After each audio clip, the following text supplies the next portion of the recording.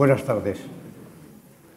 Eh, me, siento muy, muy feliz de estar aquí y, agradezco a, los organizadores, en primer lugar al, director de los encuentros, Alberto Gorbat, el haberme, Gorbat, el haberme, el haberme invitado, naturalmente, así como a todos los que han apoyado esta, esta posibilidad de encontrarme otra vez entre ustedes, ya he estado una vez, y en especialmente lo, personalizo en, el presidente de la Sociedad de Arquitectos, en Daniel Silverfaden.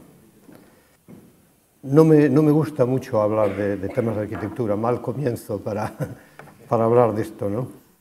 Pero la realidad es que me parece que, que me parece que hablo demasiado y en general que se habla demasiado sobre este tema y, y claro, lo de siempre, la arquitectura no es para, para, hablar de ella, pero también es bueno hablar de ella, o sea que siempre una contradicción. ¿no? La, el tema es que cuando tengo que elegir obras que escogí así un poco, fueron tomadas un poco al, pues yo creo que por casualidad, ¿no?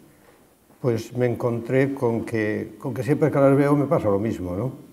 Que veo más las carencias, como siempre digo lo mismo, como decía Machado, ¿no? que es, se ve más, eh, la realidad se compara con lo mucho que se quiso decir, ¿no? y entonces se encuentra uno los, los huecos. ¿no?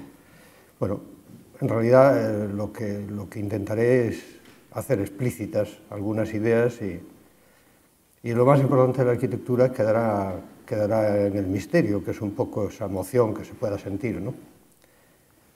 Bueno, pues con estos preámbulos voy a, voy a empezar a, explicar, yo creo que son cuatro proyectos y si me porto bien, pues me permito cinco por el tiempo y si no serán cuatro que voy a, encoger un poco. El, primer proyecto es un proyecto ya antiguo, yo creo que tiene casi diez años, ¿no? es en el Museo de Bellas Artes en la ciudad de La Coruña, está, está colocadito en, ahí donde, donde se ve en esa parte negrita, ¿no? Y la ciudad de La Coruña es una ciudad que es una ciudad medieval en su origen, siglo XII, que crece eh, en esta dirección, que se llamaba el viaje a Castilla, el camino de Castilla, ¿no? y con unos arrabales también del mismo siglo, con unas líneas de murallas que se derriban, pero esto lo cuento porque en realidad fuera de estas líneas de murallas había un territorio que era el de nadie, ¿no? Donde se expulsaba lo que no era urbano, ¿no? Donde, donde se hacían las ejecuciones, cuando se ahorcaba a alguien, donde, y donde después ese territorio un poco maldito fue estigmatizado y fue eh, pues el lugar donde aparecieron los usos marginales de la ciudad. Usos marginales, los mataderos, los algunos, algunos eh, cuarteles, todo lo que quedaba un poco fuera de la ciudad fue ahí. Y ahí aparece un convento, un convento de monjitas capuchinas, de clausura, fuera del mundo, claro, en su otro mundo, y ese convento pues se queda durante muchos años, hasta que hace pues, aproximadamente 12 o 15 años, pues la presión inmobiliaria, la necesidad de sanear la marginalidad de la zona, obligó a que bueno, se tomaran medidas y se hizo un, se hizo un planeamiento, un planeamiento especial, que es un planeamiento que, que en realidad, eh, cirugía, que, que, que, destrozó bastante la zona porque cambió la estructura. Frontera entre la estructura antigua y la estructura nueva, aparece ese convento en ruina. ¿no? Ese convento en ruina que aquí estaría situado pues, en ese territorio de nadie, que es esta zona de aquí. La primera ciudad, en el plano del siglo XVIII, con las primeras murallas y las segundas murallas y lo que explicaba de los arrabales, ¿no? Las playas que... que la, la, la, forma geográfica de la ciudad de Coruña es muy hermosa, ¿no? La realidad ahora es distinta, ¿no? Se venció la geografía. Y esta parte, pues es la que tiene los vientos desagradables, abierto al océano, y es la que hoy es la playa. En cambio, la otra ha sido ocupada, que era la buena. Bueno, pues ahí en ese límite aparece el, el, el, el dichoso conventito que se tiene que transformar en museo. Cuando yo me encargan este trabajo me encuentro que el, museo tiene, el, convento tiene esta, apariencia, ¿no? Y las monjitas ya no podrían subsistir, se había derribado ya todo lo anterior y, ya habían vendido un trozo del solar para hacer este, este, esta vivienda. ¿no?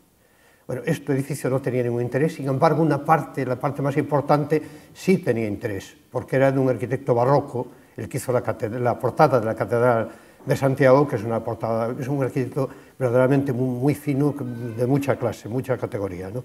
Entonces me, toca trabajar en, sobre esto cuando había como una inversión de valores, ¿no? Esto era lo que iba a ser público y esto era lo que era privado, ¿no? Parecía que la, referencia urbana se había quedado resumida y diluida casi en, esta, en esta situación, ¿no?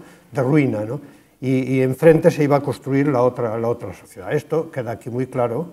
El primitivo solar era todo esto y aparece este, este espacio lo que quedaba. ¿no? El huerto del convento ya había sido colonizado y se había tirado la tapia y la ciudad la había incorporado como un paseo, cruzaba la gente por este extremo y, y se había incorporado, con lo cual esta fachada había adquirido una notoriedad y una, y una cierta ya asimilación urbana, ¿no? se había quedado incorporado. ¿no?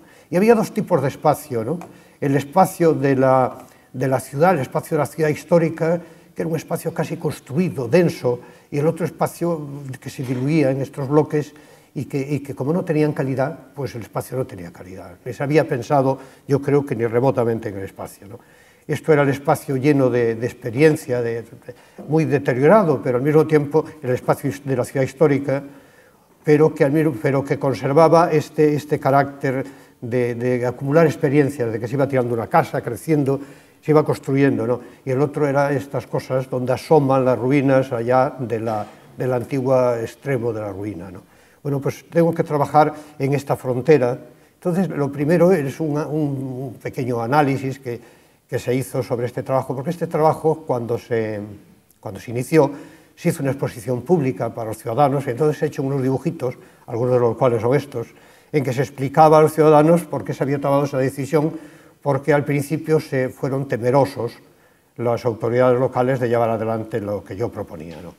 La realidad es que esto es de, calidad, esta iglesia es muy bonita, no tiene culto, y se iba a incorporar, y yo espero que un día se incorpore al pequeño museíto que se va a hacer aquí, y esta, esta, primera crujía tiene interés. El resto, aunque en el plano parece que tiene interés, no tenía ningún interés. Estaba en ruina y además había sido añadido, y esto era un patio que no tenía nada que ver con el claustro que parece representarlo.